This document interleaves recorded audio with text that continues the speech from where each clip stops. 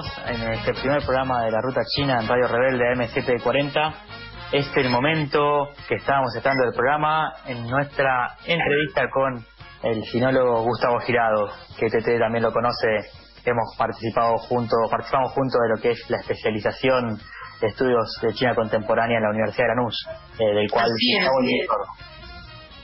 Bienvenido Gustavo, bueno, eh, se los presentamos. Es un honor para nosotros tener como invitado en este primer programa a Gustavo Girado. Gustavo es el director de la especialización en estudios en China contemporánea de la Universidad Nacional de Lanús. Ahí fue donde Lucas y yo lo conocimos, pero es un economista muy destacado. Eh, bueno, ahora vamos a, a, ver su, sus eh, sus comentarios acerca de la economía china. Eh, él tiene un libro muy reconocido que es, eh, el título es Cómo hicieron los chinos y el libro recibió un premio recientemente, ¿no es cierto, Gustavo? El Special Book Award 2020 en Beijing. Eh, nos gustaría que nos cuentes un poco esta experiencia. Por un lado, la experiencia de haber formado un posgrado en una universidad como la Universidad de Lanús y comenzar a formar ahí estudiosos y especialistas en China contemporánea. Y por otro, eh, ¿cómo fue esta experiencia de recibir un premio eh, como el que recibiste, no? Bueno, María Teresa, gracias. gracias, Lucas, también. Gracias a a ustedes y mucha suerte con la, experiencia que están haciendo con en la ruta china en radio. Así que me, alegra, por otra parte, que lo, que lo esté llevando adelante. Em, María Teresa, em, me sale más rápido esto último porque es más fresco. Hace. este, no, aparte me acuerdo. es lo último que me preguntaron, pero me acuerdo. Em, hace un par de años, la Embajada de la República Popular China en Argentina me preguntó eh, si yo estaba dispuesto a participar de un concurso internacional que se hace en China anualmente eh, con mi libro eh, Como lo hicieron los chinos, que es del año 2017. Y bueno, sí, tuve la suerte de participar y el año el 18 de noviembre del año pasado me avisaron que había ganado. esto es, participan chino, perdón, libros que se refieren a la República Popular China, a temas de China, pero no están escritos en chino mandarín. Por eso lo, llaman ellos en lengua extranjera. Y mm, bueno, estoy esperando que algún algún avión venga con el suficiente espacio para que la, valija diplomática me pueda traer la copa y el diploma. Este, pero me, me, me satisfizo mucho, me puso muy contento, todavía no me puedo quitar la sonrisa de la cara, se lo confieso. Este, es una especie de pasa, la pasada de mano por la espalda, digamos, una situación tan pandémica, tan crítica que estamos atravesando todos y la verdad que es una fue una muy linda noticia en lo personal este porque los reconocimientos digamos siempre son agradables y en este caso justamente los eh, los que son objeto de mi estudio digamos que, ellos eh, evalúen positivamente el, tipo de trabajo que yo hago a mí me, me encantó digamos me puso muy contento eh, competir y no competir ese tipo de cosas ya me pasan de largo, ya el hecho de haber participado parecía muy piola este, y ganar me, encantó, ya está, digo, no, este, ya, le, ya sacaremos foto con el, con el premio y la subimos, la subimos a alguna red. Y también es una oportunidad para darlo a conocer acá, para que se lea más. Yo siempre que me recomiendan un libro sobre China, me piden un libro, uno habla de China todo el tiempo, pero uno dice que leer sobre China, que sea actualizado y sirva, realmente el libro Cómo lo hicieron los chinos, eh, que lo publicaste ya hace tres años, 2018. Eh, sí, 2018, ¿no? Sí, no, salió en 2017, pero ¿sabes qué, Lucas? Hay un tema ahí de, nadie profeta en su tierra y también de, de la difusión que uno hace del trabajo. Acá las cosas ustedes lo saben mejor que yo, hay que hacer, hay mucho, eh, media un fuerte trabajo personal, digamos, hay, mucho laburo propio y hay, hay un grandioso esfuerzo este, para llevar adelante los proyectos, ¿no? Entonces, este, eh, no puede mostrar ese, ese libro el trabajo que hay atrás, aunque haya sido premiado, quiero decir, porque para algunas partes de ese libro, digamos, para escribir dos párrafos tenés que, tenés que estudiar muchos meses un tema, llevarlo hasta la frontera del conocimiento, tener que llegar hasta la frontera tecnológica del conocimiento de un tema para poder decir de, sobre ese aspecto lo que vos realmente querés decir. Si no son una simple transcripción de cosas que ya están hechas, y no es el caso. Uno trata de hacer un aporte con eso. Y desde el punto de vista latinoamericano, tratar de indagar cosas que no se habían indagado, por lo menos estaban coleccionadas en un, en un texto hispanohablante, digamos, las los materiales que yo trabajé, bueno, eh, eso en todo caso lo recojo como meritorio. Pero el esfuerzo que está ahí atrás te puedo asegurar que es este, elefantiástico, porque... Se nota, se nota, Gustavo, porque el libro está muy bien documentado, no solo en la bibliografía, sino en las notas, eh, página a página, que son muchísimas y siempre son explicativas y ampliatorias acerca del tema que se está trabajando que en general es el crecimiento económico, pero la verdad es que hay datos eh, e información de todo tipo que ayuda a entender lo que estás diciendo justamente, ¿no? Y las hipótesis que manejas acerca de esta idea del crecimiento económico y cómo lo hicieron los chinos. Sí, sí, eh, también, eh, también la gente, entiendo que los que están escuchando y no conocen, deberían saber que hace 28 años que estoy trabajando los temas de Asia, que, que estudié allí, entonces, digamos, tampoco nací ayer, digamos, y hay hay una suerte de trabajo con muchos viajes antes, entonces este hay un recorrido, hay, hay gente que uno conoce de la academia, este que, que uno va eh, filtrando información y va gestionando materiales, digamos que no no son no están muy difundidos, uno empieza a conocer a otros profesionales, bueno, es la, digamos la, edad de alguna manera te lo te lo te lo va te lo va exponiendo, ¿no? El calendario habla por vos en ese sentido y es una especie de de, traducción de muchos muchos años de trabajar temas parecidos. Es decir, la, decodificación desde la economía política de, del proyecto chino, ¿no? Y eso es, eh, no hablo de cultura, no hablo de cuestiones históricas, sino aspectos esenciales del, cómo China convierte el crecimiento en desarrollo. Un, un aspecto de todo eso, creo que yo traté de indagar ahí, ¿no? Justamente cuando arrancamos el programa dábamos a conocer una de las noticias que daba a conocer que en 2028 el PBI de China va a superar al de Estados Unidos y fundamentalmente por las consecuencias del COVID. Y en tu libro un poco desarrolla algunas de las claves de las cuales hacen la fortaleza económica del proyecto de desarrollo en China, fundamentalmente pensando en la innovación y el desarrollo y la ciencia y la tecnología. Vos has seguido estos temas durante años. Para traer un poco el tema del libro a la actualidad, eh, ¿cuáles pensás que hoy en día son las claves del desarrollo chino que permiten seguir manteniendo, más allá de lo que se hizo durante 40 años, una perspectiva de crecimiento a pesar de la crisis del COVID, en el cual China fue el único país que logró crecer en 2020, es una de las grandes potencias del mundo. ¿Cuáles pensás que son esos tips de la economía china? Mira, no sé, no sé si tips, pero hay algo que sí te puedo decir y, que, este, y ya medio para terminar con el tema del libro. Justamente porque uno no transcribe noticias y coyuntura, uno se dedica a entender las cuestiones estructurales, ¿sí? Esas cuestiones medulas, los pilares sobre los cuales el, proceso se desenvuelve, sobre los cuales se apoya.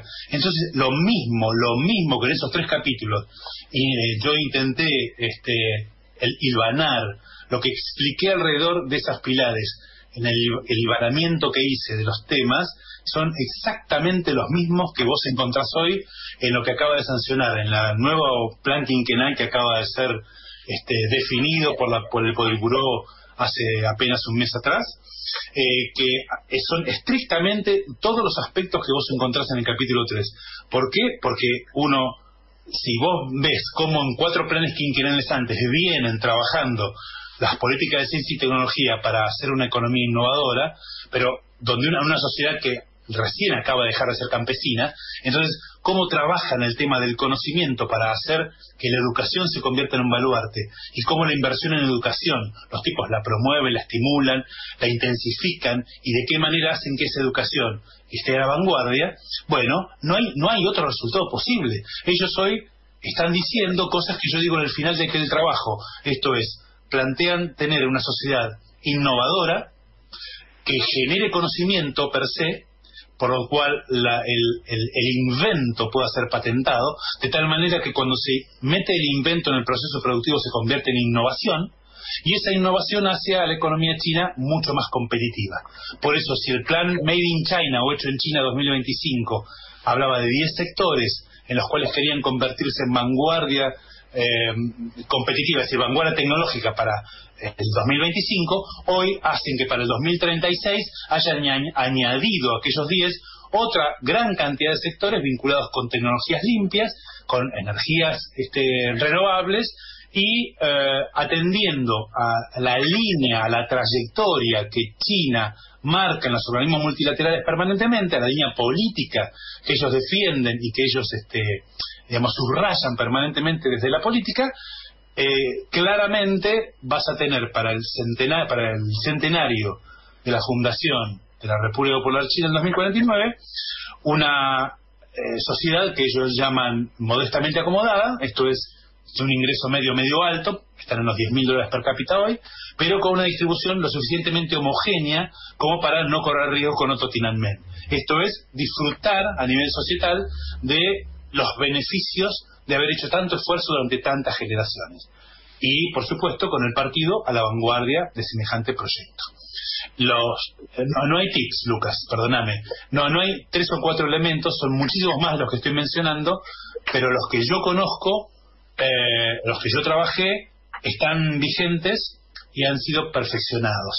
Entiendo que el multilateralismo desde el punto de vista de la política internacional es lo que ellos vienen reforzando y ante el corrimiento de las potencias occidentales de ese plano quedan como adalides, quedan como baluartes de ese, de ese tipo de trabajo multilateral. Entonces, China aparece no solo ya tratando de alcanzar metas, digamos, que parecían impensadas dos generaciones atrás, sino aparecen a la vanguardia, incluso política, porque dan participación a una de las sociedades, digamos, más, más, más numerosas ¿no? del mundo. Eso es sencillamente sorprendente. Eh, Gustavo, aprovecho bueno para, para saludarte y, agradecerte tu, tu, participación en el programa. Eh, entrando desde el libro y saliendo del libro, como vos decías, eh, el, libro tiene un título muy interesante que es ¿Cómo lo hicieron los chinos? que me parece que es la gran pregunta que nos hacemos todos.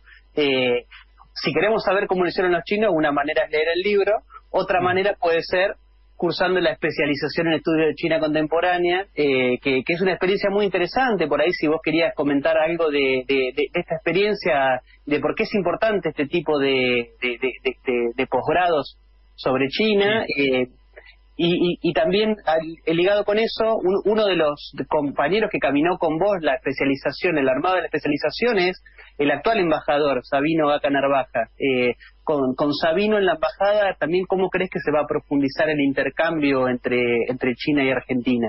Sí, gracias Sebastián por recordarme la pregunta que me ha hecho María Teresa. Y disculpen, pero me engancho con el tema de, los de China esenciales y, y me voy. Eh, la especialización, Sebastián, me pareció una idea excelente porque la densidad que tiene la relación bilateral entre China y Argentina, ah, la, densidad que ha cobrado esa relación bilateral, eh, requiere de recursos humanos especializados. Entonces, cualquiera que puede ver el grado de complementariedad que hay entre las economías de China y Argentina, cosa que los que trabajamos estos temas hace años es algo harto evidente, en, términos estrictamente econométricos, es decir, metiendo matemática en el medio, sin política y sin ideología por detrás no hay otra economía más complementaria que la China en términos estrictamente este, eh, sectoriales. Digo, todo lo que Argentina, lo, que constituye la canasta clásica de exportación de Argentina son cosas que China importa y lo que China exporta constituyen 100% productos de la canasta clásica de importación de nuestro país. Así que la complementariedad marca que en la medida que el vínculo político fue progresando, fue madurando, y esto con gestiones políticas del siglo XXI, especialmente que Argentina, con los cambios de gobierno, pero con una misma idea en el trayecto de las relaciones internacionales, hizo que madurase la relación con China al punto tal de generar una asociación estratégica de tipo integral. Ahora bien, eso abre eso hace, en todo caso, que la relación no se restrinja a la cuestión comercial y de inversiones, sino que trascienda ella y vaya por planos que tienen que ver con defensa, posiciones internacionales en organismos multilaterales, cooperación tecnológica, en fin, una, innumerable, una innumerable miríada de cuestiones que, se abren como campos para el trabajo conjunto.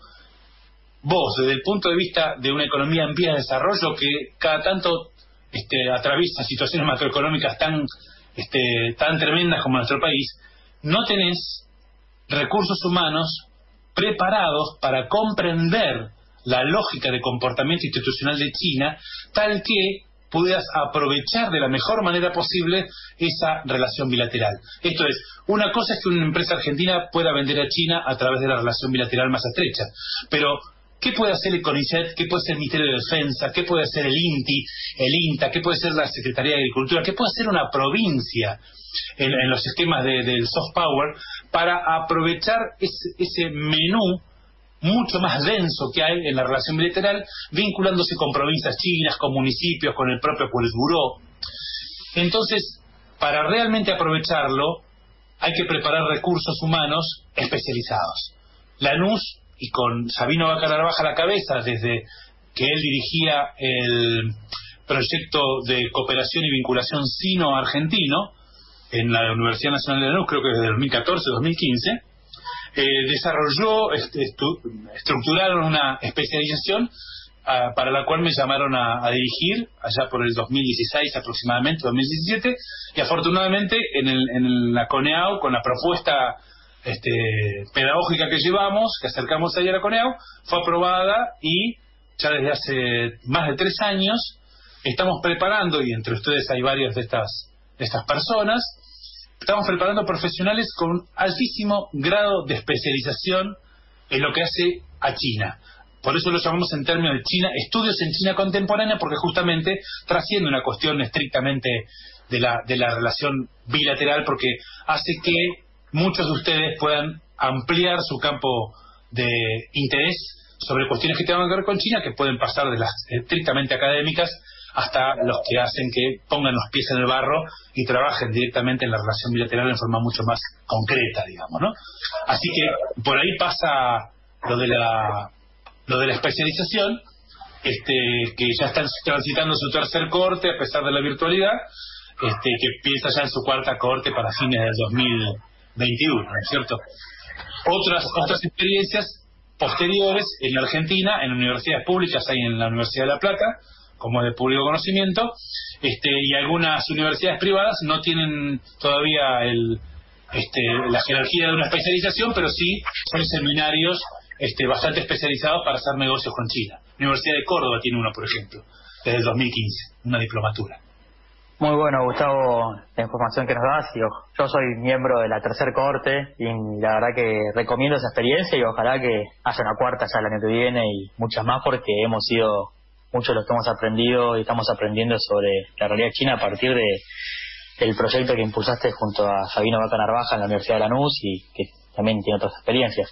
Una última, un último dato, también me comentabas antes de la entrevista que el próximo martes a las 10 vas a estar participando en un ciclo de charlas con que va a tener presencia de los chinólogos más importantes eh, de América Latina, en el cual vos vas a dar una charla que se titula China y su larga marcha hacia la independencia, que seguramente el link lo pueden encontrar en tus redes sociales, lo pueden seguir en Instagram, Twitter, Facebook, Gustavo ahí es muy activo también, pero ¿nos puedes contar de qué se trata un poco ese ciclo de charlas?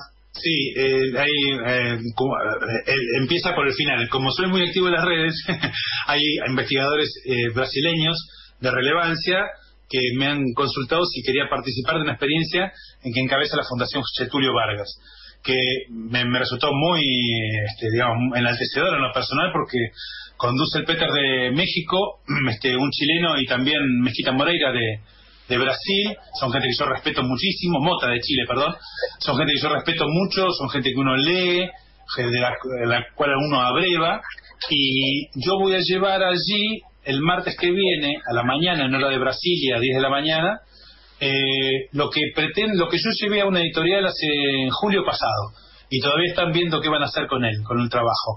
Em, yo avancé más allá del trabajo que hice, que ustedes estaban hablando hoy del libro, trabajé en otro, más político, lo tiene una editorial muy importante de Argentina y todavía no se decidió.